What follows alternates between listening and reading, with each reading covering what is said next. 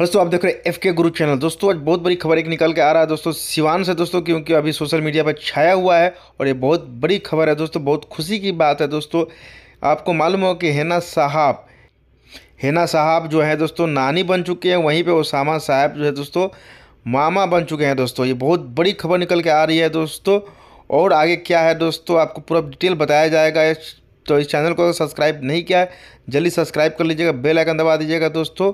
और जो भी खबर निकल के आ रहा है दोस्तों आपको बताया जाएगा। और ये जो है दोस्तों, फ़ोटो शेयर किए हैं। आप देख रहे हैं दोस्तों, ये फ़ोटो शेयर हुआ है दोस्तों, हेना साहब का ये फ़ोटो है। साथ में उनके गोद में एक बच्ची है। अभी तक ये कंफर्म नहीं हुआ है दोस्तों कि लड़का है या लड़की है।